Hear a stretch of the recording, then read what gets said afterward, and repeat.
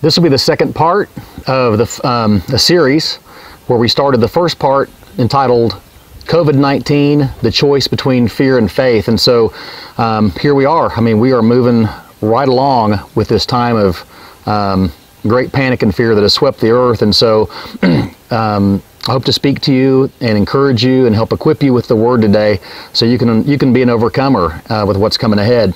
You must understand that everything about your life has changed. Nothing's going to be the same. Everything over the last few weeks has changed and it will never be the same. And it, some of us I've, I've, talked to, to some friends and some people from my past, and many people think that uh, we're just going to bounce out of this and things will be back to normal. And um, this is the beginning of the new normal.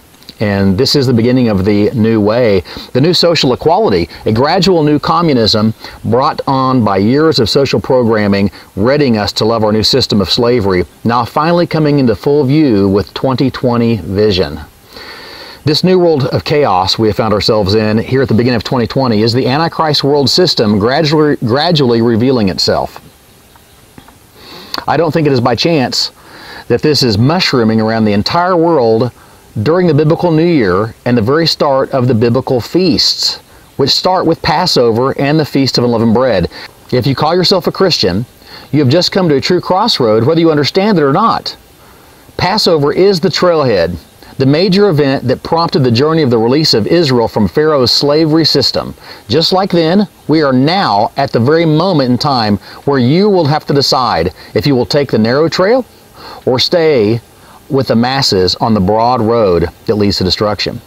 You will all need to embrace the journey of leanness, every one of us, the journey of leanness, or you will be the apostates that turn back to Pharaoh for peace, safety, and bread out of fear, which may which many will serve due to self-preservation. What we are seeing around the world with the COVID-19 will not make any sense unless viewed through the promise of prophetic scripture. You must know that this response by world governments under the illusion of helping and caring for the people is furthering many of the goals set up by the United Nations agenda for global government.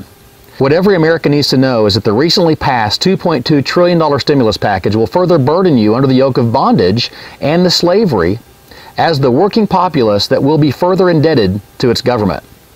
It might not be an immediate tax burden on the individual, but even worse than that is that it gives the government an opportunity to take an equity stake in many of the companies they're going to bail out. These plans give big publicly traded companies billions to keep the lights on and keep the workers on the payroll. In exchange, the government would get stock ownership. This is just one more step in the direction of global ownership by the United, United Nations government that seeks to control all world economies as our taskmasters in this hour. This also further conditions us to accept the handouts of big government. Every time there's a bubble in the economy created by the last recession bailouts. These stimulus packages, these plans do not correct the economy, but only make things worse for the future of the economy by giving us short-term false highs to keep up the charade of wealth, which is really only a debt consumerism. Materialism made possible only by more credit with only more interest given under the guise of helping us, which only drives us deeper into oppression.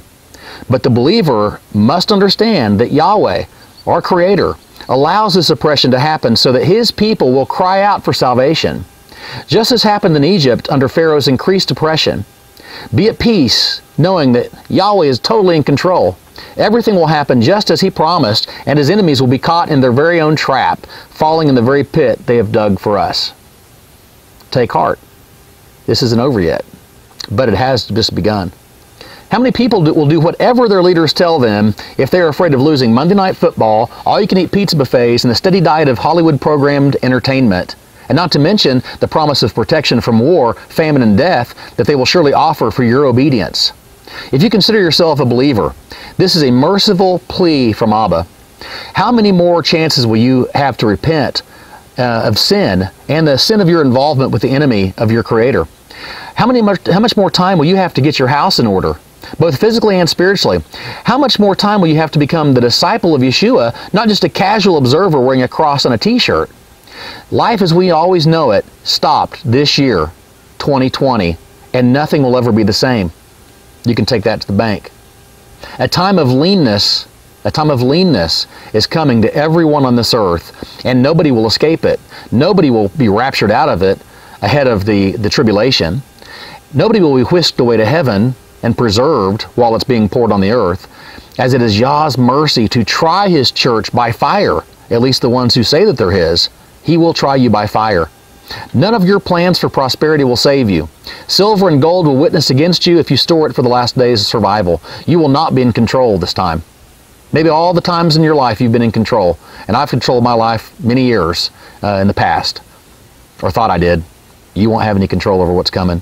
So I hope to encourage and equip you, those of you who are true believers, or even if you hope to be a true believer, um, with the Word. Equip you with the words that you will not fear the coming chaos, but would rather have a faith explosion as the Word opens up and you see just how close we are to the very return of our Savior. He's coming, and his, he's coming. It's, he's drawing nigh. So, with this understanding of our current atmosphere, it is not by chance that we have set before us the example of the first time Israel was released from Egypt. Physical Egypt, as the shadow event, teaches us much regarding the days ahead for all who will leave spiritual Egypt by faith to serve the living and true God.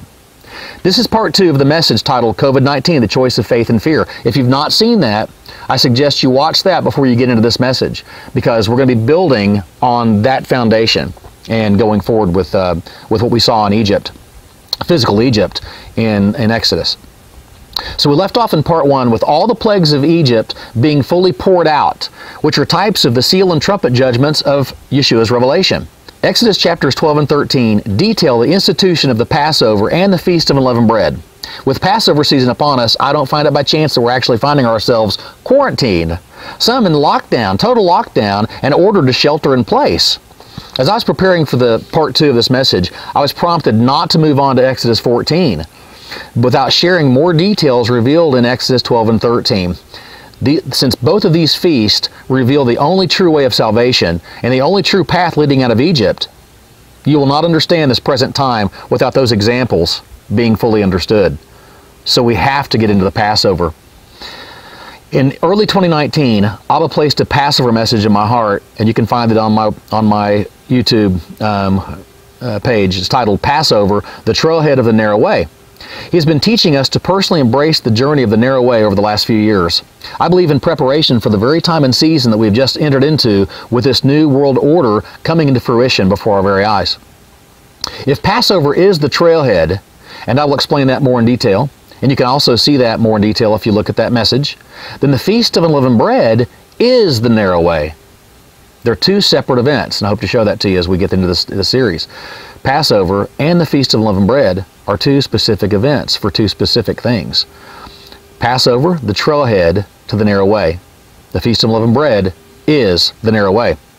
Many people will soon be deciding whether to continue along the narrow path of faith, willingly laying their lives down for truth in obedience to their master or the one that they claim is their master, or they'll choose the easy, wide road of selfish, selfish, self-flesh preservation and be given the great delusion due to their rebellion against the truth. While refusing to obey the one they have claimed to believe in, it will become easier and easier to deny Jesus before men as they turn from the truth to serve fear, to serve Pharaoh. The, world call, the word calls, calls this the falling away. And you'll see that in 2 Thessalonians 2, starting in verse 1. Now we beseech you, brethren, by the coming of our Lord Yeshua, and by our gathering together unto him, that you be not soon shaken in mind or be troubled, neither by spirit, nor by word, nor by letter, as from us, as that the day of Yeshua is at hand. Let no man deceive you by any means, for that day shall not come, except there, except there come a falling away first, and that man of sin be revealed, the son of perdition. The very Antichrist we're talking about. The first thing to see here is that men will try and deceive us by different means um, that Yeshua's return is happening any minute now. We are not to be shaken or troubled by false reports from false prophets who twist Scripture to sell salvation. The son of perdition will be revealed, but before he is revealed, we will experience a falling away like it's never happened. I believe we have been in this state for quite some time, with the seeds of the falling away seeded many generations in our past. The word for falling away is apost apostasia. Apostasia. It literally means a def defection from truth. It is also directly tied to another word, apostasion. Apostasion, which means divorce or written divorcement. These trials are specifically used by Yahweh as a sifting of many who will become apostates, divorcing from the truth because of a spiritual deception that is given to them out of a refusal to obey and love the full truth. It will become harder for every professing Christian in the days ahead because everything that can be shaken from your life will be shaken, and only what can't be shaken will remain. Your true fruit will come forward. Hebrews 12:25 See that you refuse not him that speaketh, for if they escaped not who refused him that spake on earth, much more shall not we escape, if we turn away from him that speaketh from heaven, whose voice then shook the earth. But now he hath promised, saying, Yet once more I shake, not the earth only, but also heaven. And this word, yet once more, signifieth the removing of those things that are shaken, as of things that are made that those things which cannot be shaken may remain. Listen, the flesh, the idols of our flesh, are getting ready to be shaken off the earth. The, the, the wood, the hay, the straw, everything that can burn, every work that you and I have done, every idle word we've given, everything that is not lasting by the word of Yah is getting ready to be demolished. And only His word will remain. All flesh is grass. That's what the, the Bible teaches. And only His word will remain. I believe that the falling away, this divorcement of truth, will start with fear. In Exodus 19, Israel feared as slaves before the presence of Yahweh when he revealed himself as fire on the mountain. And if you haven't looked at that, go back and read the, that starting in Exodus 19. Um, many today are still slaves of sin, slaves of their flesh. And like before, we will, will refuse to hear from him when he speaks this time from heaven, when he comes shaking everything that can be shaken it's important that you hear him. It's important that you, if you, especially if you call yourself a believer, will hear him when he speaks from heaven this time. When you start seeing everything shaken, you start seeing the dominoes of your idols fall. It's very important that you don't run in fear as a slave, where you stop your ears and say, I'm not going to hear from him. Moses, you tell us what he says and we'll do whatever he says. We'll just do it. Just don't kill us. No, it's going to be sonship this time. You're going to have to run right up into the fire, into the arms of daddy this time, by faith. You're going to have to trust that He will catch you. See, fear will keep you from answering like sons and obeying the truth, knowing that faith will command action, a lifestyle change, a total dying of your flesh. True faith will sacrifice your wants and your desires as you walk with Him separated from this world, separated from sin, separated from the friends and the family and or anyone who openly blasphemes the truth mocking the very living Son of God by remaining in the life of sin, which He came to separate you from by His own blood. What a travesty. With all of this in mind, all of this in mind, we will continue to examine our current events through the lenses of the prophetic bookends of Egypt's past, the shadow, physical Egypt and Israel's leaving Egypt, and Egypt today, spiritual Egypt, which is our reality, the dark covering that's cast over the entire earth that's only pulled back when the brightness of the sun is revealed from heaven. In this part two, we will explore the first Passover and what it reveals regarding the full release from Pharaoh's kingdom. The Passover event being the culmination of all the plagues of Egypt and our separation and way of salvation before his wrath is fully poured out upon Pharaoh and the entire earth soon to come. We're going to get there. We are then going to take a deeper dive in part three into the Feast of Unleavened Bread in this series. The Feast of Unleavened Bread is our seven day journey of refinement, the dying of our flesh, where we accept the bread of leanness for our journey out of spiritual Egypt. See, that's going to be a choice. This choice between faith and fear. Faith is going to be you choosing the narrow path. Faith is going to be you choosing the bread of leanness. And we're going to really dive into that in part three. You won't want to miss it. There were some pretty amazing instructions given for Passover, and each pregnant with future fulfillment in Yeshua. We will examine these in light of Yeshua and what we need to know as the reality of these will soon be fully birthed right before our very eyes. This will not be a fully detailed Passover teaching. That would take a lot of time. There is so much to understand, but a quick view of what these shadows represent will be needful going forward for all who have been taught Easter eggs and Easter ham instead of bitter herbs in the blood of the Lamb. Let's focus on a few key, few key points that is going to help. We're going to start in Exodus 12, verse 3. Speak ye unto all the congregation of Israel, saying, In the tenth day of this month they shall take to them every man a lamb, according to the house of their fathers, a lamb for a house. And if the household be too little for the lamb, let him and his neighbor next to unto his house take it according to the number of the souls. Every man according to his eating shall make your count for the lamb. Your lamb shall be without blemish, a male of the first year. You shall take it from the sheep or from the goats, and ye shall keep it until the fourteenth day of the same month. And the whole assembly of the congregation of Israel shall kill it in the evening of the fourteenth day.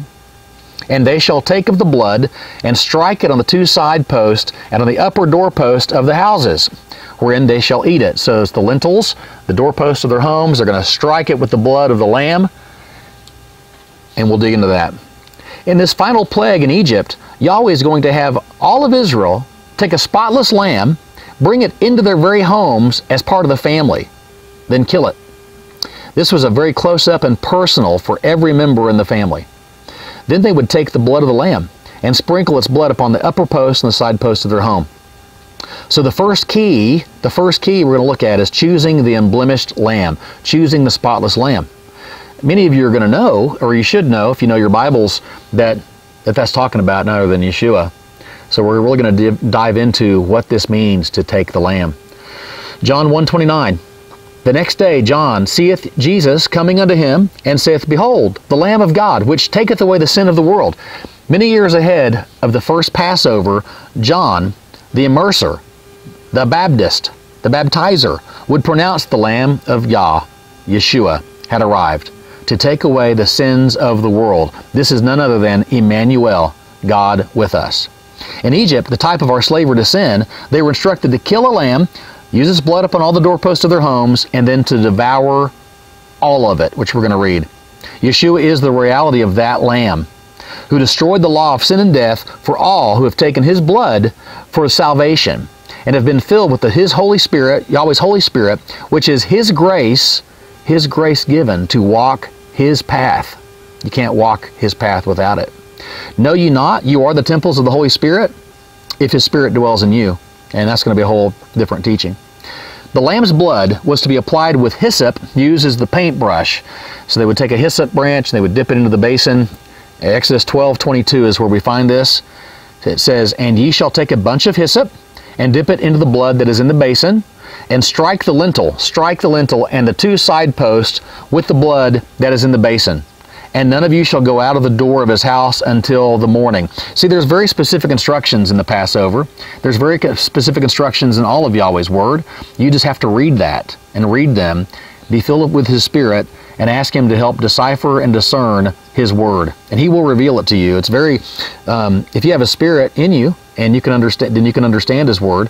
You don't need to go buy books, tons and tons of books. You just need to know His Word. Hyssop was understood to have a cleansing ability, and especially in ancient, the ancient Far Middle East and Far East, uh, ancient Israel. Um, a cleansing ability, uh, uh, which was also used later in Leviticus 19:18. You can see in Leviticus 19:18, it was used to cleanse those who had come in contact with the uncleanness of a corpse. Now, all the law was given, again, for examples. Everything in the Old Testament was given for examples, and they're all about Yeshua. If anyone tries to teach anything other than that, they are false because everything is about Him. Everything. He made everything. All, all things were made for Him and by Him, and He gets the glory. This being a shadow of the cleansing blood of Yeshua, whose blood heals us from sin and death. That's what that corpse represented. So in ancient Israel, under the law, you would come and touch a corpse, be around the dead corpse, and you would be unclean until you did the, the, the cleansing, ceremony of the cleansing. You can find more about, on that in Ex, uh, Leviticus 19.18. Um, we, we too are born into sin, the blood of unclean man flowing in our veins. Yeshua offers a blood transfusion spiritually. His blood in exchange for ours. His clean blood in exchange for our human, tainted, sinful blood. Yeshua offers us this blood transfusion, His blood, cleansing us from the inside out as we are released now from the cycle of sin and death. Hyssop was also used in the cleansing of the leper, according to the instructions given in Leviticus 14. And if you look back at the last message, we talked about the leprosy and it being definitely a type and shadow of sin that only Yeshua, deity, could come and heal us from. So let's look at the second key point. Second key point here is Exodus 12:8. This is huge. I'm gonna, I'm gonna, we're gonna, ha- we're gonna hammer this one. They shall eat the flesh in that night. What flesh? The, the lamb. They shall eat the flesh in that night, roast with fire and unleavened bread with bitter herbs. They shall eat it. Eat not of it raw, nor sodden it all with water, but roast with fire his head with his legs and with the purtenance thereof, all of his innards, all of his internal organs. And ye shall let nothing of it remain until the morning. And that which remaineth of it until the morning you shall burn with fire, and thus shall ye eat it with your loins girded, your shoes on your feet, and your staff in your hand. You shall eat it in haste. It is Yahweh's Passover. You're getting ready to go on a journey. That journey is going to be the journey along the narrow way. This is the entrance. This is the ceremonial, um, covenantal agreement where you take the blood of the lamb and then you eat it. The second key is eating the entire lamb, along, along with bitter herbs. This was not a pleasurable dining experience as exemplified in the modern day Seders of Judaism, with a party atmosphere and the wine flowing so much that many people can't drive home afterwards because they're totally drunk. I speak of the four cups of blessing that the Pharisees added to the Passover ceremony. Here's the first article that came up about Passover drinking. I just Googled it Passover drinking. This guy says, What makes this night different from all other nights? You are about to get drunk. Yes, at a Passover Seder, you have to drink. And the operative word here is have to. Oh, shucks. See, we Jewish people are so smart that we created a holiday in which you're obligated to drink four glasses of wine with dinner. For some of us, that's just a typical Monday night. For others, it means a guaranteed Tuesday hangover. Well, I hope you caught the, uh, the very telling words that this man says. See, we Jewish people are so smart that we created a holiday in which you're obligated to drink four glasses of wine with dinner. And that's exactly what happened. They created this, this um, hypocrisy wrapped up in what they call the Passover has that has nothing really to do with with the Passover of the Bible. Why? Because Yeshua is not in it. They do not see him in it. Is they've added things to it, they've taken things away from it. You will not find anything in the Bible about four glasses of wine being the glasses of blessing, um, but they will very much ignore the New Testament covenantal meal that Yeshua had with his disciples, where he takes the cup, um, and we'll we'll read about that in a little bit. Not only that, not only that, but they have created special Seder plates. That's what they call this Passover meal, the, dinner, the Passover, Passover Seder. They've they created these special Passover Seder plates to feature a boiled egg of fertility. It is so hypocritical to see many Messianic folks bashing Christians for Easter eggs on Facebook as they then invite them to a Passover celebration which involves them in the exact same fertility rooted rituals. There's a lot of deception, people. I hope you will just read the word. It's very simple. the path that followers of Yeshua follow is strictly biblical, with no allowance for adding and subtracting from truth, like the Jewish Mishnah and the Jewish Talmud command, in which many in the Hebrew roots and Messianic communities adhere to. Go back and look at what Yeshua says at the end of Revelation about those who add and take away from the word. Very serious.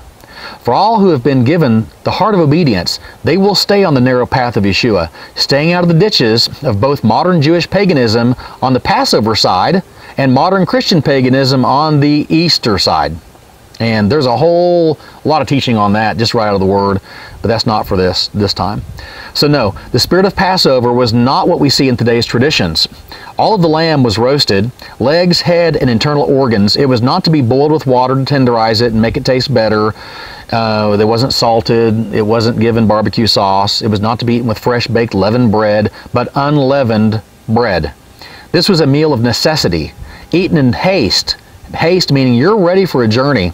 Uh, they kept their shoes on and their staff in the hand, and nothing could be left until morning. Just as the manna from heaven in the future, during their journey uh, into the promised land, the, the, the manna from heaven would be filled with maggots and stink by sunrise which is very symbolic of our getting fresh word daily, the fresh bread from heaven daily, and all that was not consumed would be burned away with the new sunrise. It's very important that you and I eat the word for ourselves daily. This also speaks of eating the Word to overflowing in preparation for your journey of faith. You're going to need all of it. this journey of faith, you're going to need to be overfilled and overflowing with the entire Lamb. This uh, Passover was not festive. It was not a happy occasion, but it was done circumspectly, understanding that this was the covenantal meal of agreement where you would accept the Lamb for your salvation, to be ready to leave Egypt at His command. Think about it, people. This was a solemn occasion which was taken in seriousness and probably in a lot of fear of this Lord, this master, who had been dealing heavy blows to the gods of Egypt that they were just now coming in contact with for the first time. So understand spiritually that you must eat the entire lamb. That's the second key, and it's a critical key. Yeshua also instituted another ceremony at his last Passover meal, the night before his death, which was the drinking of his cup. This wine of the new covenant represents his blood, the Lamb's blood, now being poured out for our salvation in reality. The new birth transfer, transfers you and I from the sinful nature of mankind, symbolized by the blood of man that are born into this fallen world, into the new spiritual life of the resurrection, with the exchange of your dirty, um, sin filled blood for the sinless blood of the Lamb. Hallelujah. It's, it's amazing to see, and, and He is worthy. John 6 53. John 6 53. We're going to dig into this. This is, this is, there's a lot here. He says, Yeshua said unto them, Verily, verily, I say unto you, except you eat the flesh of the Son of Man and drink his blood, you have no life in you. Whoso eateth my flesh and drinketh my blood hath eternal life, and I will raise him up at the last day. For my flesh is meat indeed, and my blood is drink indeed.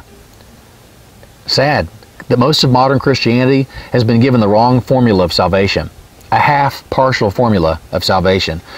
They, they have seen the blood of the Lamb as an important thing to believe on, especially when they are promised to escape the plague of death, but they have not eaten all the Lamb's flesh.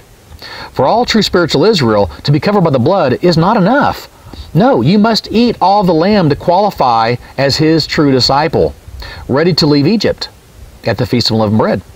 What would have happened if Israel used the blood of the lamb on the outside of their doorpost, then refused to eat all the lamb on the inside of their homes? Thinking, well, he's going to pass by. We've got the blood. It's covered. We're covered by the blood. We sing the songs. We're covered by the blood. There's power in the blood. And that's true. Then they went inside their homes and they, they disobeyed him in eating the flesh of the lamb. Hmm. I think they had been disqualified for the journey ahead. I think they would have probably not made it out of Egypt without it. Don't we see this play out in modern Christianity today where people make the mental assent of accepting the blood for salvation but fail to follow through with the qualification of real relationship where his sacrifice will sustain us until we finish the race? Most of Christianity accepts the blood for salvation, yet refuses to ingest the entire lamb, which is the empowerment for the long journey of sanctification. Sanctification meaning purification and consecration. We sing songs about the blood, the power of the blood, but we are ready to eat the but are we ready? But are we ready to eat the lamb and come out of Egypt? This is the meaning behind 2 Timothy 3 starting in verse 1. 2 Timothy 3, starting in verse 1. This know also that in the last days perilous times shall come. For men shall be lovers of their own selves, covetous, boasters, proud, blasphemers, disobedient to parents, unthankful, unholy, without natural affection, truce breakers, false accusers, incontinent, fierce, despisers of those that are good, traitors, heady, high minded, lovers of pleasures more than lovers of God, having a form of godliness, but denying the power thereof. From such, turn away. Folks, these are those times. If these aren't perilous times, I don't know what is. Where many have a form of godliness on the outside while denying the true power of godliness, which is a sinless, spirit led walk out of Egypt, out of the life of sin. Instead of turning away from such, what like the word says, from such turn away. Instead of turning away from these people that have a form of godliness but deny the true power, knowing that bad company corrupts good character, we have filled our churches with forms of godliness as the norm. It's very sad. So let's look at a let's look at a great example. Um, a great example on the absolute importance of eating the entire lamb. John 6. John 6. John 6, verse 1 After these things, Yeshua went over the Sea of Galilee, which is the Sea of Tiberias, and a great multitude followed him because they saw his miracles, which he did on them that were diseased. And Yeshua went up into a mountain, and there he sat with his disciples. And here's a good key here. And the Passover, a feast of the Jews, was nigh. So the Passover, a feast, was nigh. Then Yeshua then lifted up his eyes and saw a great company come unto him. He saith unto Philip, When shall we buy when shall we buy bread that these may eat? And this he said to prove him, for he himself knew what he would do. So you see, this is great. Yeshua is getting ready to, to teach this multitude, all who would be celebrating the Passover in just a few days' time, the true meaning and fulfillment of that shadow that they've celebrated in the Passover lamb. He was going to teach the very Passover in a parable of himself, the bread of heaven, who is more than enough for all who choose to partake of him. Yeshua is the only bread that sustains true life. There's no other name. There's no other name. That's going to cost you to believe that. It's going to cost you to say that and to, to believe and act upon that in this world we're in now. He continues in verse 7. This is powerful. Philip answered him, Two hundred pennyworth of bread is not sufficient for them, that every one of them may take a little. One of his disciples, Andrew, Simon Peter's brother, said unto him, There is a lad here which hath five barley loaves and two small fishes, but what are they among so many? And that was what Jesus was looking for. Yeshua says, Make the men sit down.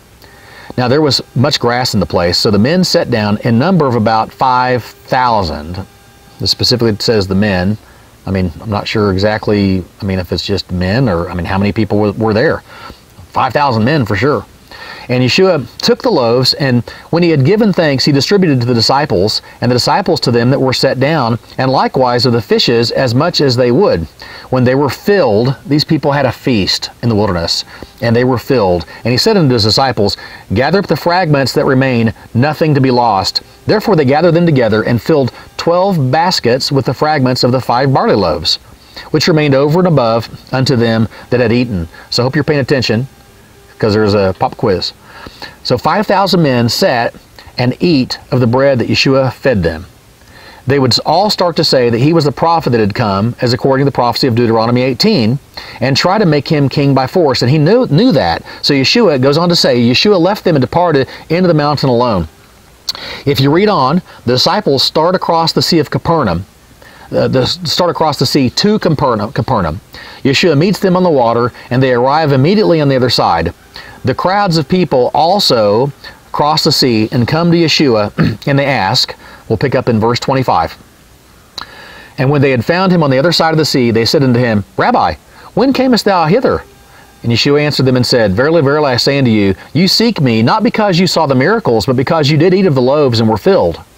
Labor not for the meat which perish, but for that meat which endureth unto everlasting life, which the Son of Man shall give unto you. For him hath God the Father sealed. So Yeshua reveals the motives of the masses who have sought him out, which still rings true today. They seek him not because of the miracles he did, but because he fed their flesh. That's why it's a wicked generation that seeks a sign. We talked about that last time. He's not going to give you more signs and miracles than he's already given by his death, burial, and resurrection. How many churches today are filled with the masses looking for more, no more than physical bread, prosperity for their flesh to feed their materialism?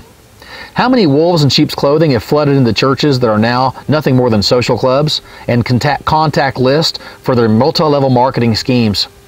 How many think Jesus is nothing more than a type of Santa Claus, a way to get their wish list fulfilled in this life now, as long as they keep a checklist of good deeds and they're not naughty? How many church leaders have loved the growing numbers of the masses who do not come for Yeshua's true meat because they know that he would, they would leave, but for the stale and maggot-filled false bread of religion that helps build their megachurches and not the true remnant church of Yeshua?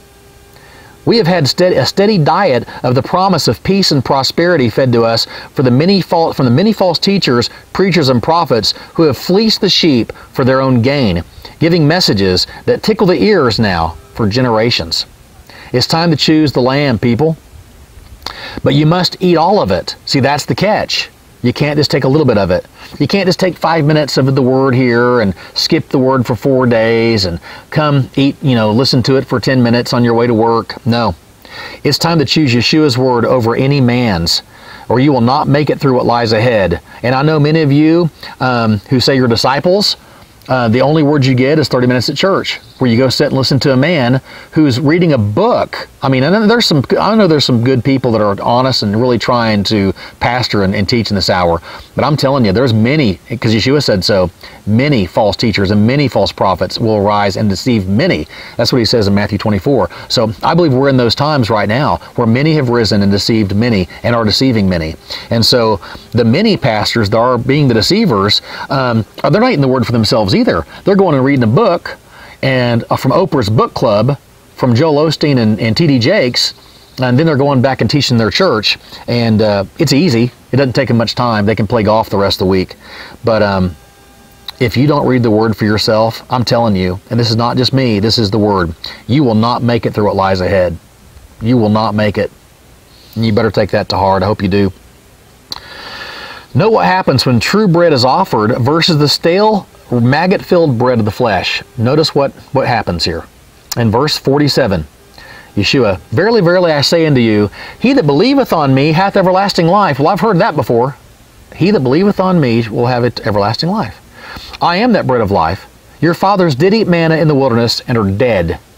This is the bread which cometh down from heaven, that a man eat thereof and not die. I am the living bread which came down from heaven. If any man eat of this bread, he shall live forever. And the bread that I will give is my flesh, which I will give for the life of the world. The Jews therefore strove among themselves, saying, How can this man give us his flesh to eat? Then Yeshua said unto them, Verily, verily, I say unto you, except you eat the flesh of the Son of Man and drink his blood, you have no life in you. No life in you. You're dead man walking. Whoso eateth my flesh and drinketh my blood hath eternal life, and I will raise him up at the last day. For my flesh is meat indeed, and my blood is drink indeed. He that eateth my flesh and drinketh my blood dwelleth in me, and I in him. Talk about abiding in the vine. Abiding in the vine is eating the lamb. As the living Father hath sent me, and I live by the Father, so he hath so he that eateth me, he even he shall live by me. By what? By eating me, by eating my flesh. This is the bread. This is the bread, that bread which came down from heaven, not as your fathers did eat manna and are dead. Here he, he reemphasizes that again. He that eateth this bread shall live forever. These things said he in the synagogue as he taught in Capernaum. Many therefore of his disciples, when they heard this, said, This is a hard saying. Who can hear it? Who can hear it? Meaning, who can obey it? Who can, who can understand this and do it? Who can eat him? Here Yeshua reveals that those who believe upon him have eternal life. But what does believing upon him entail? See, we, have got to get past this, this false understanding we have in modern day Christianity. True believers will eat his flesh and drink his blood as, they, as the sign of believing in him. That is the sign that they believe in him. They take all of him. I mean, every bit of it. The, not just the happy times, but the trials. Not just the resurrection, but the cross and the death. All of him. They will devour the entire lamb if they're true disciples. He says in, in verse 58, He that eateth of this bread shall live forever. The Christian culture in America has taken John 3.16 as their mantra, and you can pretty much go ask anybody on the street, and the only scripture they all know is John 3.16, because they're all taught that from childhood, and that's the only one that makes it out of childhood into adulthood, because it's easy. John 3.16. For God so loved the world that he sent his only begotten Son, that whosoever would believeth upon him should not perish but have everlasting life. But they never finish it. They, they use that as their mantra. They put it on t-shirts and hats. Football players, professional football players, put it under their eyes. They paint it on their eyes on Sundays and play football. But the masses have not understood the meaning of what actually believing on Jesus means. It's very important that you understand what believing on Him means. This false gospel has been the driving force behind the masses flowing into modern Christianity. Because when the true word is given, the majority will turn away, as, as Yeshua showed right here in his word. So how about we look at the entire context really quickly of John 3.16. because it pretty much says the same thing, but Yeshua is going to really dive in more to what that means. John 3:16 For God so loved the world that he gave his only begotten son that whosoever believeth in him shall not perish but have everlasting life. That's exactly what he said, Yeshua said in the text we just read in John 6. For God sent not his son into the world to condemn the world, but that the world through him might be saved. Let's go on. He that believeth on him is not condemned, but he that believeth not is condemned already, because he that not believed in the name of the only begotten Son of, of God. And this is the condemnation that light is come into the world, and men love darkness rather than light, because their deeds were evil. See, that's what believing on Him looks like. Believing on Him means they come to the light, and their deeds are changed and transformed into the light of into the, the deeds of light, the, the true deeds of Yeshua. They trade their dark deeds of darkness for the deeds of light. That's believing on Him. And the condemnation he didn't come to condemn them. They're self condemned, is what the word teaches. Because everyone that doeth evil hateth the light, neither cometh to the light, lest his deeds should be reproved. And that word reproved means convicted, told a fault, or rebuked. Um, we, we've done that, and pretty much every time we, we speak a word to someone that says they're our brother and sister in the faith, we give them a, the word with a, with a loving rebuke. Um, we're hated in return almost every time. Why? Because people have not understood true biblical love and what rebuke and chastisement looks like out of a spirit of love. But he that doeth truth cometh to the light, that his deeds may be made manifest. That word manifest means rendered apparent, shown fully in the light. That they are wrought, wrought meaning done as a task or an occupation, that they're done in God. It's huge to understand this. Believing in Yeshua is action. Believing is action. Faith is doing.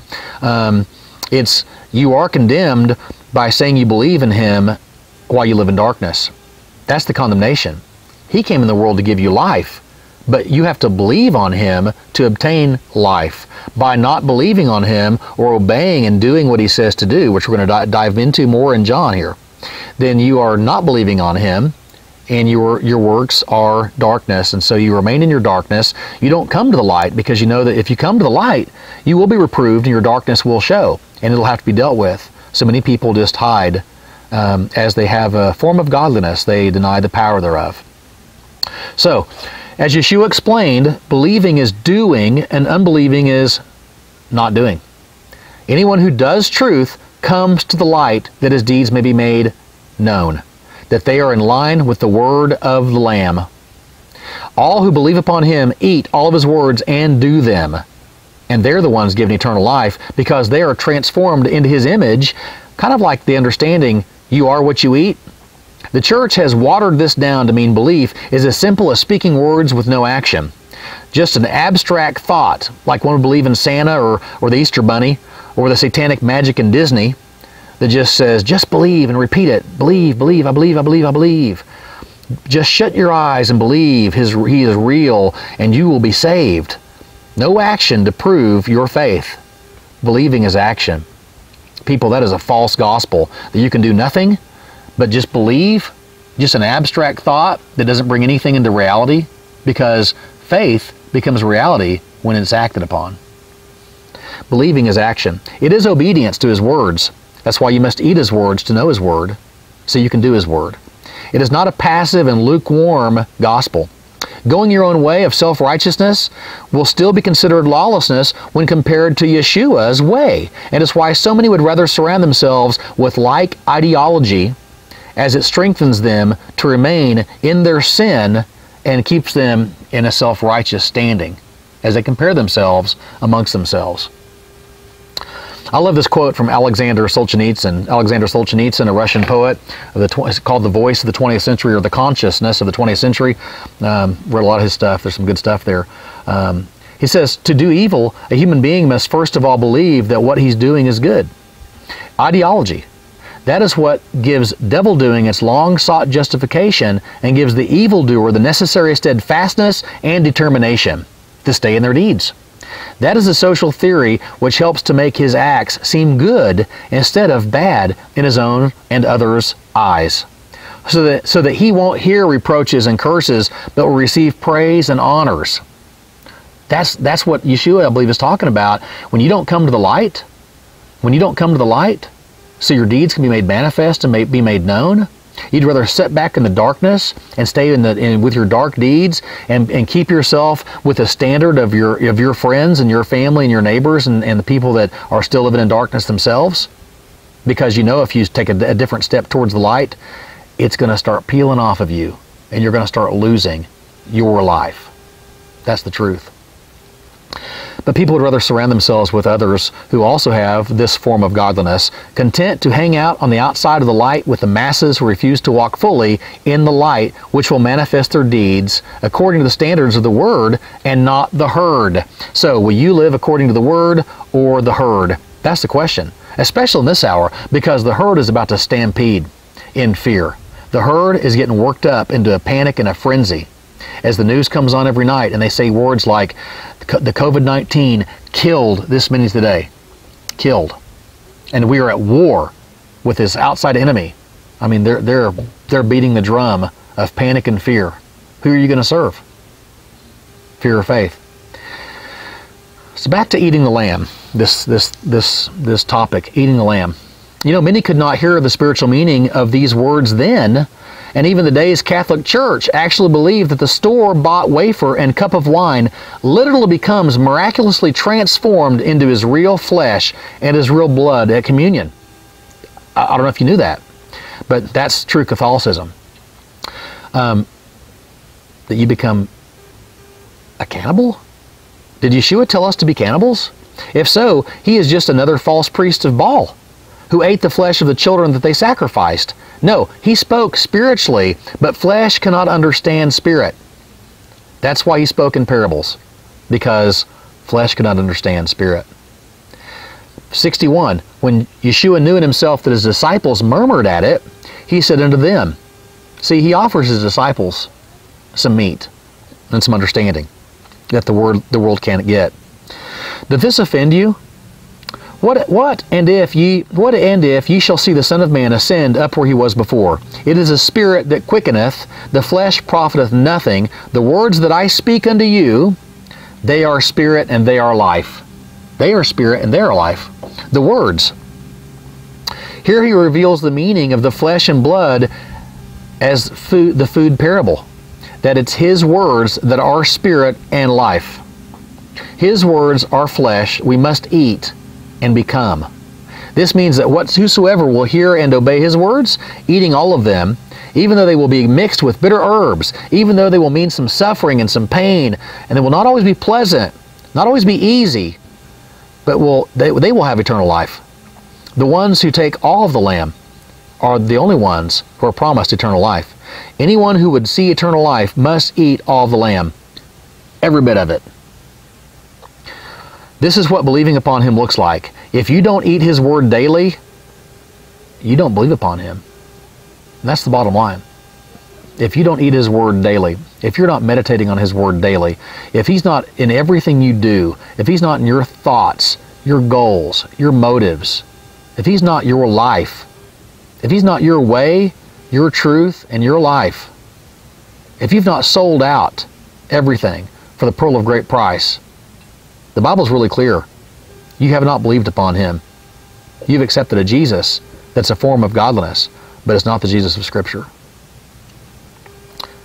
There's time to repent. The good news is there's time to repent. But it's going to repent means you're going to turn. You're going to make a you're going to make a 180. You're going to walk the other way. You're going to leave the broad way of destruction for the narrow path. This is sad. Look at 66, verse 66. From that time, many of his disciples went back and walked no more with him. They walked no more with him. He lost many disciples who left and walked no more with him.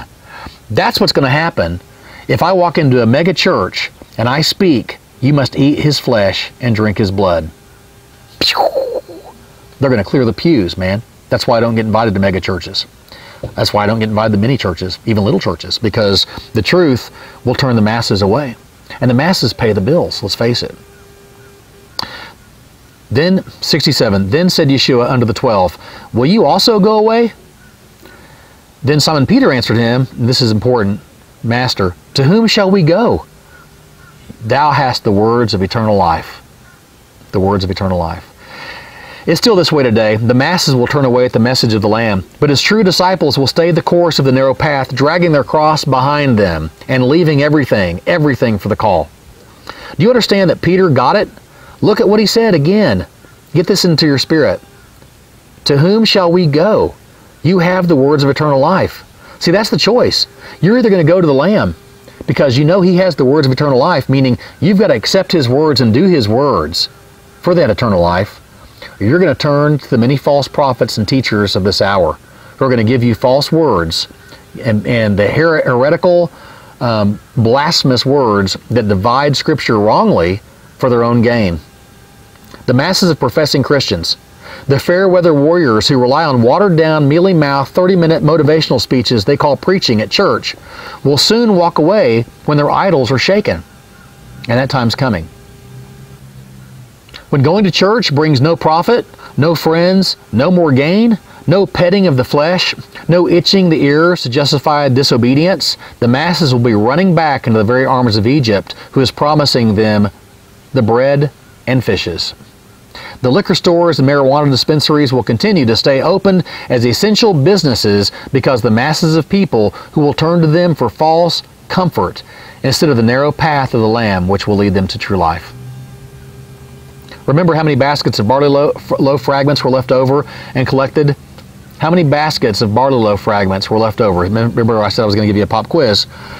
He filled 12 basketfuls of barley loaves, but it appears there were no fish left over. This is analogous of the continued bread, which is Yeshua.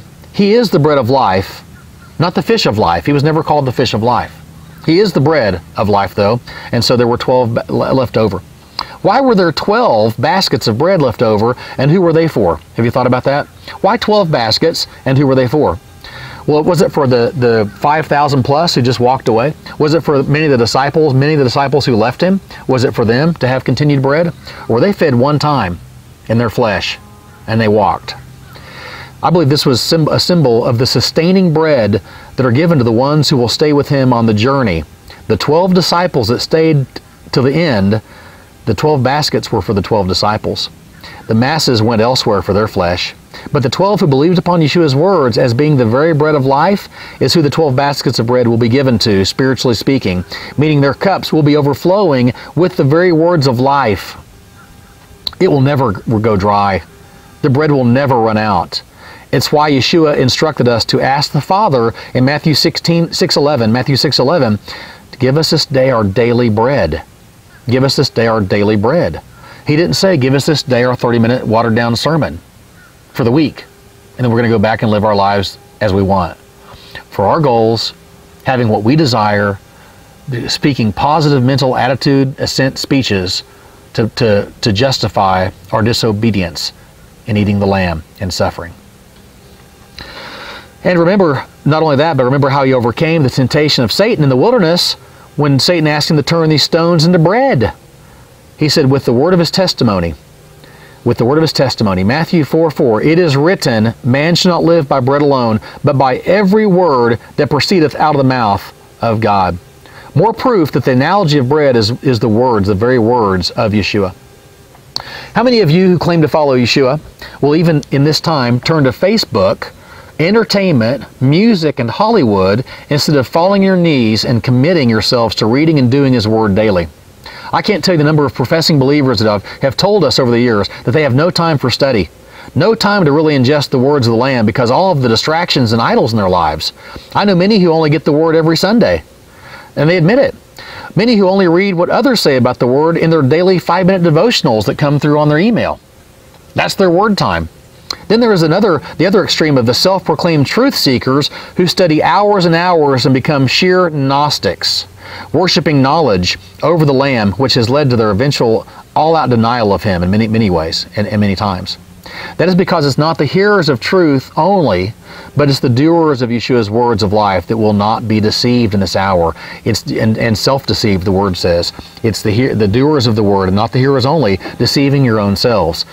Matthew 7, 21 this is this is powerful. This this ought to keep you up at night. Not everyone that saith unto me, Master, Master, shall enter into the kingdom of heaven, but he that doeth the will of my Father which is in heaven. Many will say to me in that day, Master, Master, have we not professed, prophesied in thy name, and in thy name have cast out devils, and in thy name have done many wonderful works, miracles even? And then will I profess unto them, I never knew you. Depart from me, ye that work iniquity. Iniquity, sin, lawlessness. So, as we discussed in part one, the masses who seek the signs and wonders yet refuse to eat the lamb are the very ones who have had a form of godliness yet deny the true power thereof in this day and age. The power is the transformational new life that is given to all of those who become like Yeshua through the eating of his flesh and the drinking of his blood daily. It's very important. Yeshua goes on to explain, verse 24. Therefore, whosoever heareth these sayings of mine, now we're going to tie it into the words, right? Because he just said, um, 721, he started out, it's those who do the will of my Father. Then he, then he digs in a little deeper to, to reveal what he's talking about plainly. Verse 24, Therefore, whosoever heareth these sayings of mine and doeth them, I will liken unto him unto a wise man which built his house upon a rock. And the rain descended, and the floods came, and the winds blew and beat upon that house, and it fell not, for it was founded upon a rock. And every one that heareth these sayings of mine, and doeth them not, shall be likened unto a foolish man which built his house upon the sand, and the rain descended, and the floods came, and the winds blew, and beat upon that house, and it fell, and great was the fall of it. See, great is the falling away that's coming. Great's the falling away because the many, the many have refused to do and only hear, and only hear, being hearers only. See, loving the truth so that you are not given the delusion in the last hour is loving Yeshua. He is the truth, who is the way, the truth, and the life. It's loving Him. If you say you love Him but refuse to do, do His words of truth, you don't love the truth. Bottom line.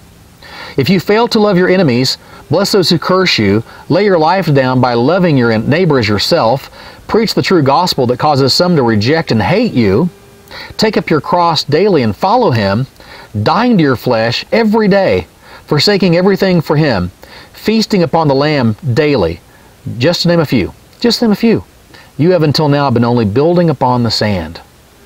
How can you expect to see him and know what to do without knowing His words for yourself. It's like having a relationship where you don't talk. How are you going to know your spouse if you never talk? How can you call yourself the bride of Yeshua when you don't need His word? How can you expect to see Him face to face and be accepted as His bride without a personal relationship, hearing His words, longing to sit at His feet, hearing from Him? and doing, having the heart to do what He tells you to do.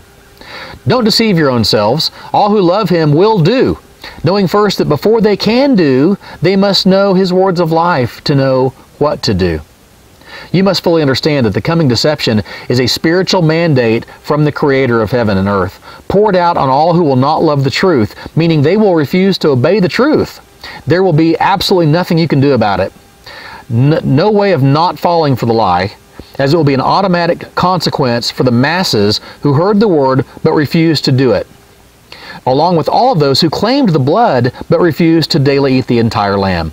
Once diluted, you will become joined with the ecumenical one world rebellion of the earth, who will be changed, joining together in a newly fused social one world religion that they might even call some sort of New Age Christianity, a New Age Christ, with other Christ that come and join like they already see have now. if you do not read the Word for yourself daily, I'm going to just tell you like it is. If you do not read the Word, if you don't ingest the Word, if you don't feed upon it, if you don't abide in Him, meaning you've, He's in you and you're in Him, and that happens by through the Word, through the Spirit. If you don't abide in the vine, you will be part of the falling away you will be, and there is no way around it. There's no way, no matter what you say, and you might sit there right now and say, it'll never happen to me. It'll never happen to me.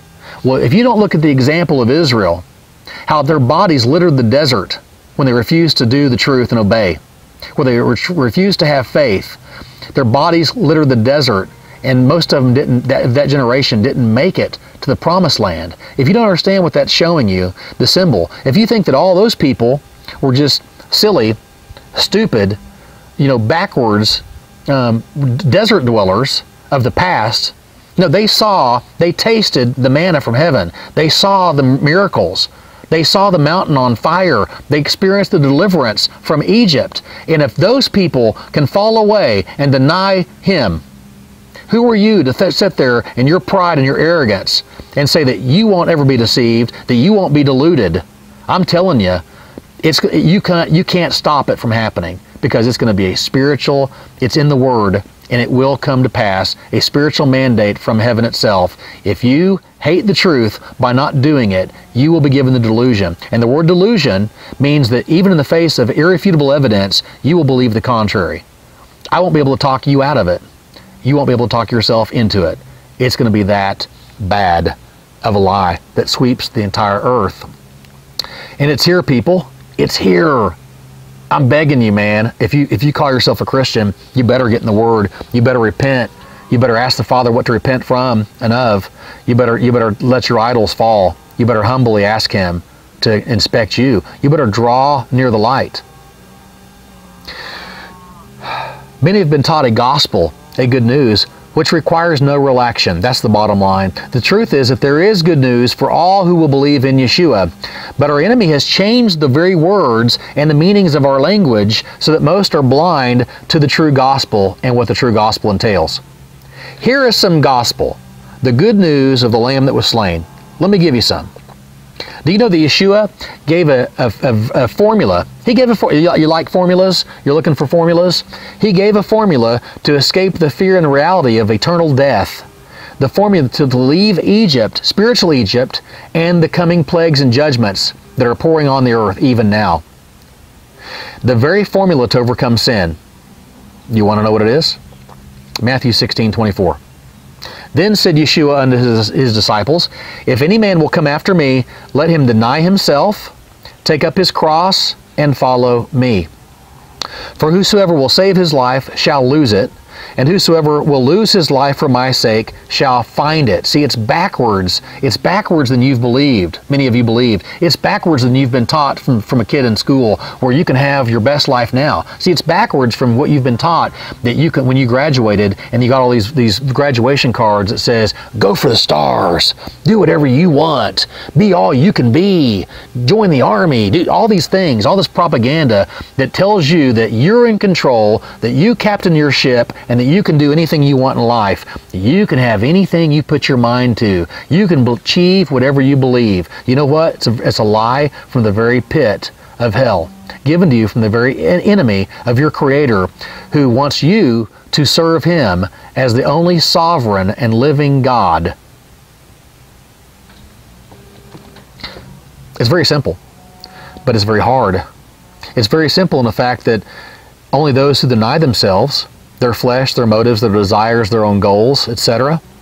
Number two, those who take up their cross, accepting the way of suffering even unto death. He's promised you're going to you're going to take that cup. If you believe in Him, you will take that cup of suffering. Following him, number three, following Him along the trail that He is on, not your own trail, not your own way, not having what you want in life, not not directing your own life, people, but but asking Him, Your will be done on earth as it is in heaven. Your will be done. Father, what is your will for my life?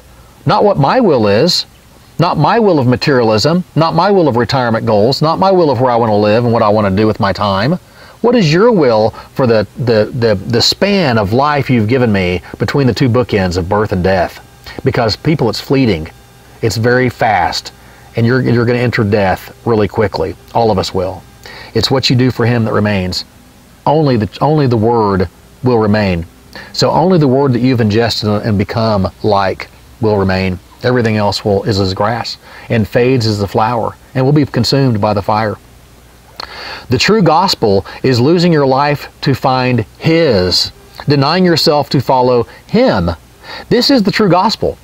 If the gospel you've accepted does not include bitter herbs, and the acceptance of the cross to follow him out of Egypt, then you have not been given the true gospel. If your gospel lets you simply take the blood by word only without taking his way of suffering, then you have believed a lie.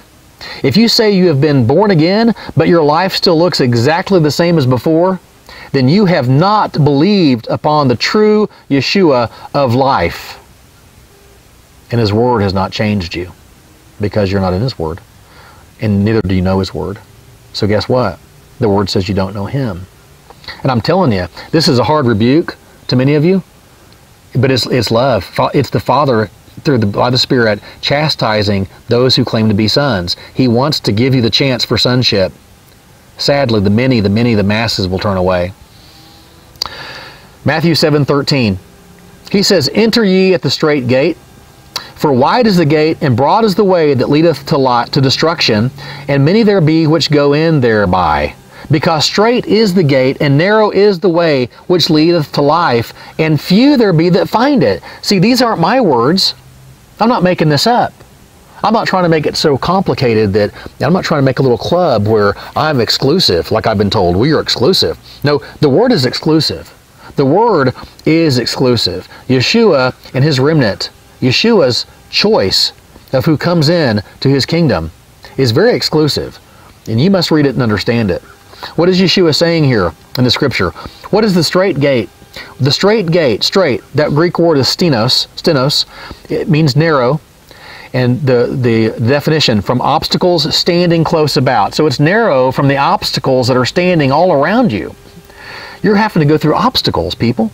See, he is saying that the gate you enter into life at is the narrow way with many obstacles laid about. It is not going to be easy. He goes on to say that the narrow is the way leading to life. That word for narrow is thlebo, thlebo, T-H-L-E-E, bo, thlebo. It means afflict, narrow, throng, suffer, tribulation, and trouble. That's some of the definitions. This is why the path has been so hidden, because the many false teachers who do not teach the truth of the way to life that is thlebo, narrow, throngs, suffering tribulation, and trouble with many obstacles, where you will suffer tribulation and trouble. Part of the refinement, people. Yeshua himself said that few will find it. That word for few here means literally puny. A puny number will find it. Puny. Doesn't that, I mean, people, do you understand what this is saying? It's saying that only a remnant will be saved. A remnant that choose to follow him. The masses are going to turn away, just like in the story I just read you in John 6. Matthew 21, starting in 1. And Yeshua answered and spake unto them by, again by parables, and he said, The kingdom of heaven is like unto a certain king. Now, this is after his triumphal entry. Again, we're talking about Passover season here.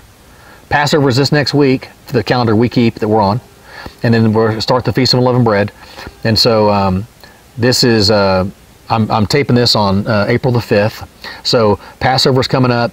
And uh, so the very week Yeshua rode in um, on his triumphal entry into Jerusalem, he goes to the temple and he's teaching in these parables. And he says, Verse 2, the kingdom of heaven, 22, uh, verse 2, the kingdom of heaven is like unto a certain king, which made a marriage of his son, and sent forth his servants to call them that were bidden to the wedding, and they would not come.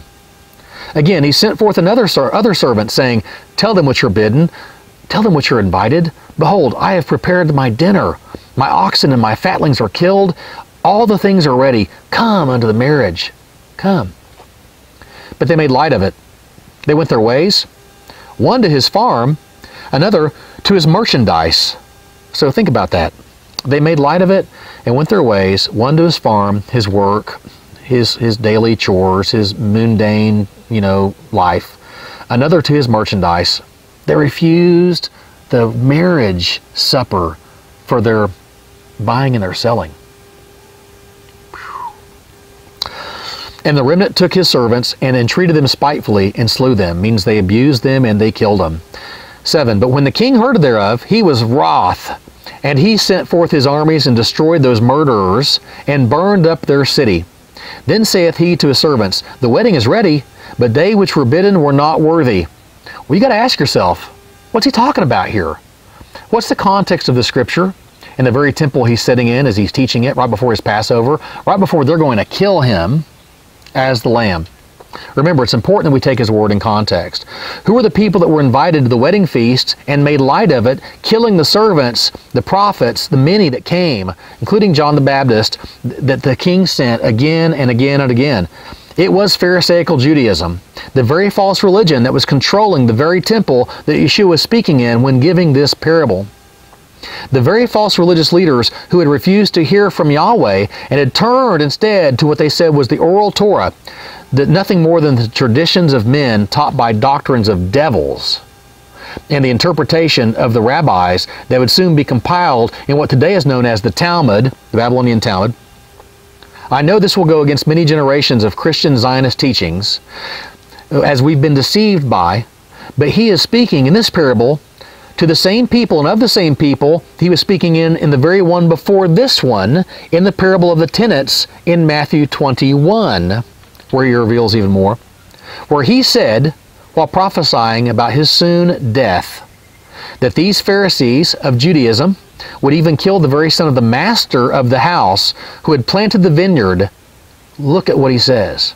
The creator of all, the, the, the, the, the master of the house, the father sent his son. And look at what he says. Matthew 21, 37. But last of all, he sent unto them his son, saying, They will receive, reverence my son. But when the husbandmen saw the son, the husbandmen are the workers of the husband, man, the, the householder. They are working the fields for the house, the one that owns the vineyard. They said among themselves, This is the heir. Come, let us kill him and let us seize on his inheritance. We want the power. We want the control. They already had the temple. There's a, there's a lot we could say, and I've, I've taught on it before, and there's other teachings on it. Um, the time of Yeshua, the, the Zadok priesthood had been fleeced and kicked out, and um, and, and escaped into the desert. Um, there was a false priesthood in place. Verse 39, And they caught him and cast him out of the vineyard and slew him. When ma the master thereof of the vineyard cometh, what will he do unto these husbandmen? Well, the one in the, in the hearing, in the temple, they said unto him, He will miserably destroy those wicked men, and will let out his vineyard unto other husbandmen, which shall render him the fruits in their seasons. Very prophetic. Yeshua said unto them, Did you never read the Scriptures? The stone which the builders rejected, the same has become the head of the corner. This is the Yahweh's doing, and it is marvelous in our eyes. He's basically saying, what's happening is in your eyes, before your eyes now. Therefore say, I say unto you, the kingdom of God shall be taken from you and given to a nation bringing forth the fruits thereof just as they prophesied out of their mouth. Other husband, husbandmen, which shall render him the fruits in their seasons. That's who the kingdom should be given to. And whosoever shall fall on this stone, the stone, the rock of offense, shall be broken. But on whomsoever it shall fall, it will grind him to powder. See, the difference is humility versus pride. Humility will run to the rock and be broken upon it. The proud will lift their heads up and will be crushed to the powder. When the chief priests and Pharisees had heard his parables, they perceived that he spoke of them. The leaders, the chief priests, and the Pharisees that were in the temple that would kill the very living Son of God in just a few days perceived that he spoke of them. You know why? Because he was speaking to them. When the chief, and they sought to lay hands on him, and they feared the multitude because they took him for a prophet. The false mixture of Babylonian paganism and the false oral law of Moses and you need to maybe understand this, and maybe you don't. Uh, and I've I've been with um, different different um, congregations over the last few years, and many of them definitely understand the oral law of Moses. But um, so what we have is the written law, right? So what we have in the Bible is the written word, the written law and which the modern day most modern day pharisaical judaism denies. They don't they don't they don't believe the written word. The written word is not for them. They have taken the commands in the oral Torah. They believe that Moses was given oral traditions and, and instructions that were passed down to them, the keepers of it, from generation to generation to generation, so that now they can give their wisdom unto you. Is that the word? Do you see that anywhere in the word? He gave them two Torahs? One was written, and he just instructed Moses all these things not to write down that only this select few could have that could control the earth with these this oral hidden Torah. No. But that's what happened at the time of Yeshua. That's what controlled the temple. That's what usurped the priesthood almost 200 years before Jesus even came to the earth, and it has continued into this very day. He came to his own, and his own killed him, and the kingdom was taken from them according to Yeshua's own words. I'm not saying it, I just read it to you out of the word. But who will you believe? See, will you believe them? Will you believe him? I say all this, I say all this because there is a massive movement deceiving people to leave Yeshua and his new covenant sealed in his blood to return to the very law of Moses, even claiming to be Torah observant, which in Judaism, Torah observant means you agree to observe every word of the Torah. Well, there's a lot of the Torah people aren't doing. So they, they, but they're calling themselves Torah observant. Ironically, many in this movement are basing their very interpretations of Scripture from the very system that killed the Lamb of the living God. As they re revere the teachings of the rabbis in the Babylonian Talmud that they call the sages, the wise ones, to be spiritually conceived, while they denigrate the very living word they say they believe in. I have had personal experience in this movement and have tasted the fruit myself, and it is a part of the last day deception and delusion sweeping the earth. So I say this so you can beware. There's ditches on both sides of the narrow path. The common thread with most people who eventually deny Yeshua is the teaching of Christian Zionism, where the third and fourth generation of Christians have been deceived through prophets and teachers who have twisted the scriptures to make the mostly atheistical Zionist agenda seem to be uplifted and confirmed through the prophecy of the very Bible that they don't believe in. I've personally known people who've denied Yeshua after spending time gleaning amongst the rabbis. I have spoken to many who believe Paul to be a liar who is coming in with a satanic spirit to deceive the church so they can be lawbreakers.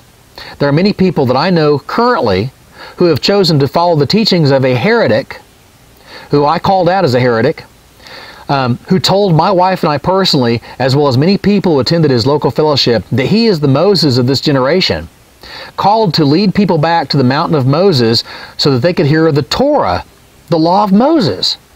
Many people, after reeling from the disillusionment of modern day Christianity, modern day powerless Christianity, are jumping from the frying pan into the fire. Out of a sincere search for true obedience, many begin leaving the reality of the blood of Yeshua, the blood of the Lamb, given to set us free from the law of sin and death, and return to the shadow. The system put in place that was only put in place until the time of Reformation. That time of Re Reformation is the new life that has come from the very Son of the living God. The hour is very late, people. That's why I say these things. But right now there is still no time there is still time to repent, to return to Yeshua, to choose him, to come back to your first love, to choose the lamb, his way and to forsake anything that speaks against the words of the lamb, to reject anything, any tradition, any words, any people, any ministry, if they reject the word of the Lamb and they take doctrines of demons, which is anything that goes against the word, any heresy, any division that's not rightly divided, so it brings a division because it speaks against the truth of his word. At the same time, many Gentiles in modern Christianity who have been offered the, the engrafting into the vine along with true spiritual Israel will try to come into the wedding feast without the proper clothing and will be found naked at Yeshua's appearing. Let's pick back up with this story um, with our parable in Matthew 22, starting in 7. And we're wrapping up. We're almost done. So hang with me. But when the king heard thereof, he was wroth, and he sent forth his armies and destroyed those murderers and burned up their city. Then saith he to his servants, The wedding is ready, but they were bidden, they who were bidden were not worthy. Go ye therefore into the highways, and as many as you shall find, bid to the marriage. So those servants went out into the highways and gathered together all of his many as they found, both bad and good, and the wedding was furnished with guests. Folks, this is the time of the Gentiles that the word prophesied of for many, many years. He would pour out his spirit, and that the, the, the, even the heathen nations, even the uncircumcised, would be brought into his tabernacle in Yeshua, in him, and be grafted in in him. When the king came to see the guest, he saw there a man which had not on a wedding garment. And he said unto him, Friend, how come thou hither without a wedding garment on? And he was speechless. Then said the king to the servants, Bind him hand and foot, and take him away, and cast him into outer darkness. There shall be weeping and gnashing of teeth. For many are called, but few are chosen. Many are called, and few are chosen. You see, many are called and few are chosen. Many are hearers of the word only. They have heard the gospel, but they have refused to obey and therefore will not be chosen. Many have been called to the wedding feast of the Lamb, but they will not be chosen because they have not believed his words. They have not taken his words. Many will not be chosen because they have not been the bride, called, chosen, and faithful, making herself ready for the groom, keeping their, herself pure and clothed with the very, very wedding garment given, the, the wedding garment of righteousness that the king himself provides, his righteousness, his own robe of righteousness. Many will choose to go back to the farm and their merchandise and miss out on the marriage of the Lamb. Many will choose to hear the words of another, the words of Moses, even, or, or one who claims to be him in this hour, and will reject the very reality of the fulfillment of the law they say they keep. I'll tell you this if, there, if you see a growing, a growing movement where many, many people are being drawn to it, that's the sign right there. When, when many people love a movement, you better run from it. That's usually the sign right there. It's a narrow path, people, and few find it. Here is the bottom line. Here is the bottom line, totally revealed by Scripture. You've heard the Scripture. I've not made any of this up. I'm going to give you the point blank bottom line of this message so there is no confusion. No confusion. The majority of every professing Christian alive today will not be saved. The majority of every professing Christian on this earth today, of every various denomination, all the ones, all the denominations who claim theirs is the only way, especially, will not be saved.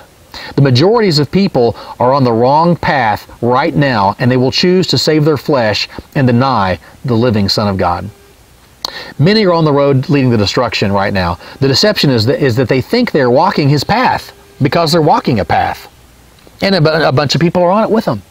And so they think, and I've had people tell me this, how can all they all be wrong and you be right, or they be right? How can a few of you get this information and this whole church be deceived and be wrong? I mean, how can all these people be wrong? Because the word says that all the all the many people go in by the wide, broad road.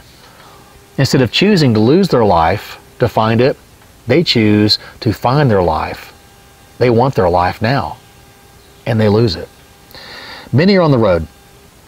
His, his path, I know it's sobering. I know, but the only guarantee that any of us have, myself included, the only guarantee we have is that He will never leave us nor forsake us if we're in Him.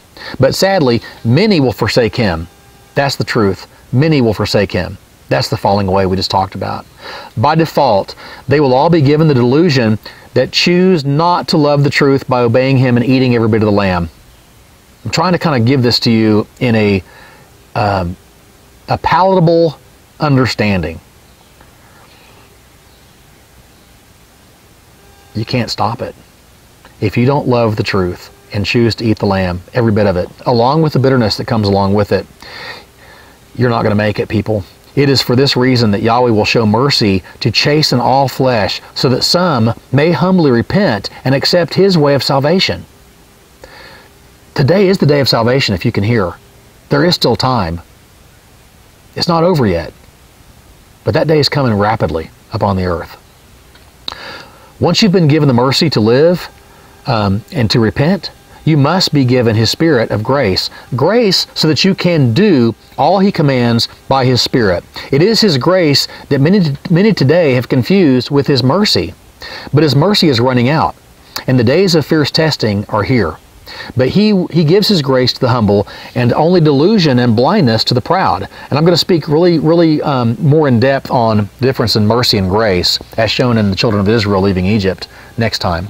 I believe the Church of Laodicea is a type of mainstream Christianity in the last hours of tribulation that we are walking into currently. This is a wake up call for all who will be given ears to hear. Compare what Yeshua says to this church with the wedding feast parable that we just discussed the wedding feast being the analogy of the marriage supper of the Lamb, and what will be the noticeable difference of the true bride. Revelation 3.14 And unto the angel of the church of Laodiceans write, These things saith the Amen, the faithful and true witness, the beginning of the creation of God. I know thy works, that thou art neither cold nor hot. I would that you were cold or hot. So then, because thou art lukewarm, and neither cold nor hot, I will spew thee out of my mouth, because thou sayest, I am rich, and increased with goods, and have need of nothing. And knowest thou that thou art wretched, and miserable, and poor, and blind, and naked? I counsel thee to buy of me gold tried in the fire, that thou mayest be rich, and with white, and white raiment, that thou mayest be clothed and that the shame of thy nakedness do not appear. And anoint thine eyes with eye salve, salve that they may seest. As many as I love, I rebuke and chasten. That's what he says. Be zealous therefore and repent.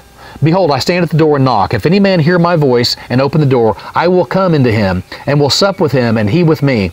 To him that overcometh will I grant to sit with me in my throne, even as I also overcame, and am set down with my Father in his throne. He that hath an ear, let him hear what the Spirit saith unto the churches.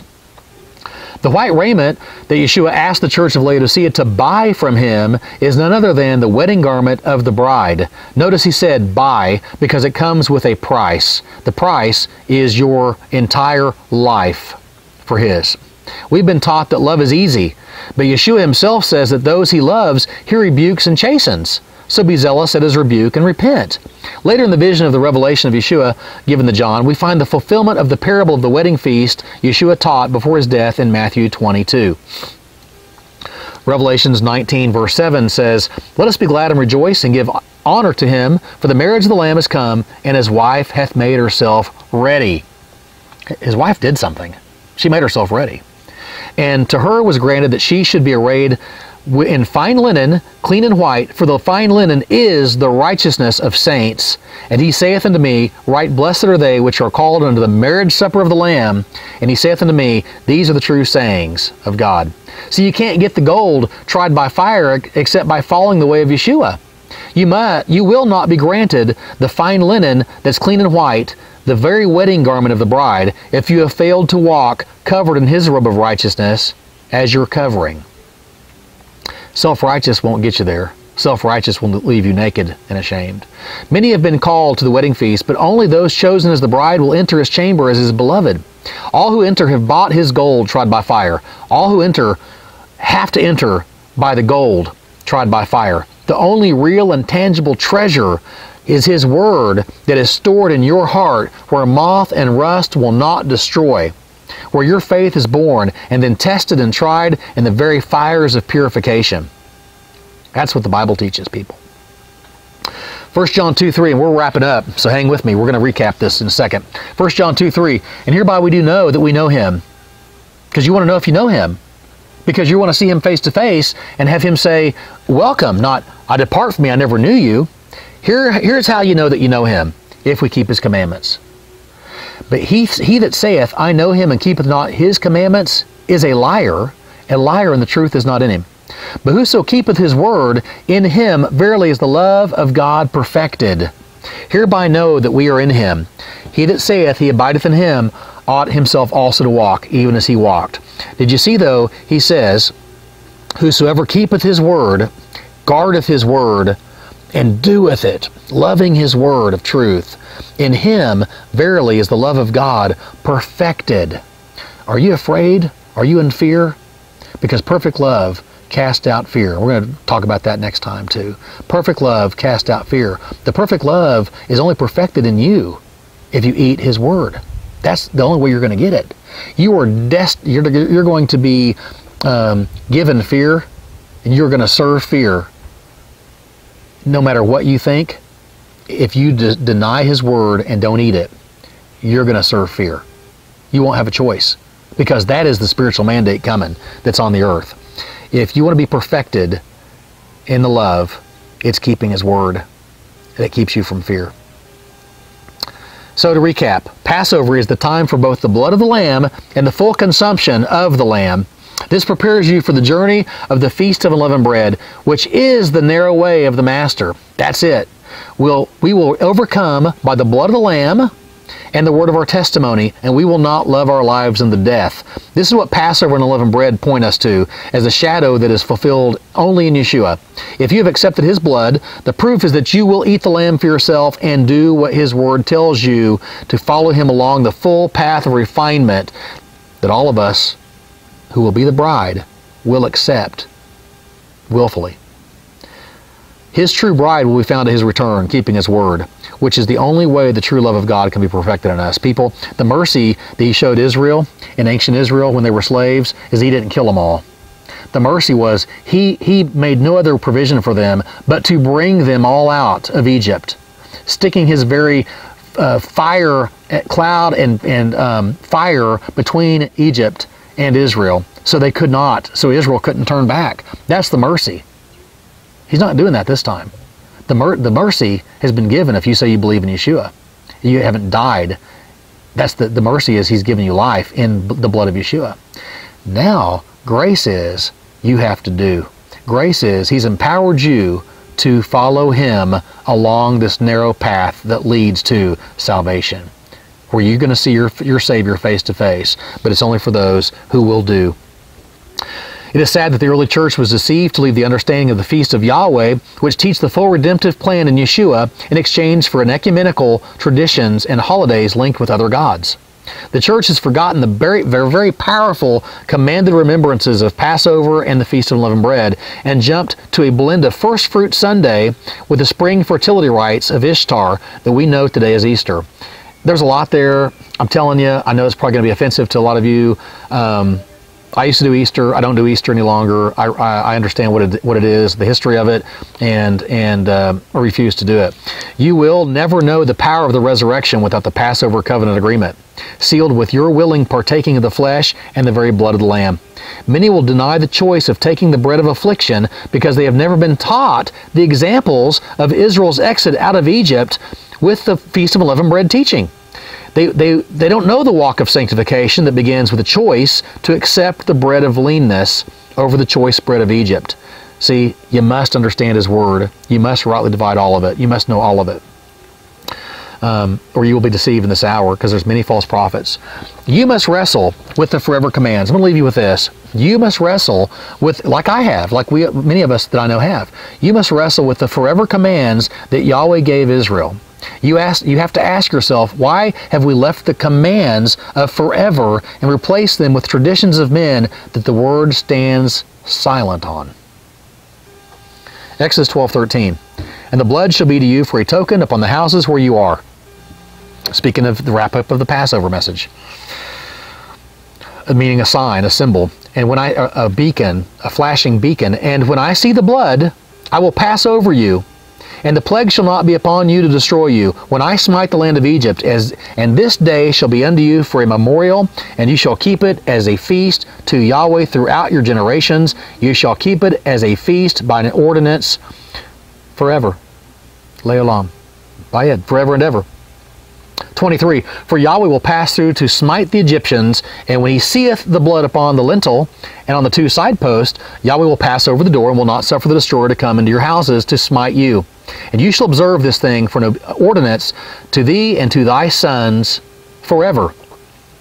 25. And it shall come to pass when you become come to the land which Yahweh will give you, according to as he has promised, that you shall keep this service, this Passover service. And it shall come to pass when your children shall say unto you, What mean ye by this service? What are you going to teach your children when you don't know it?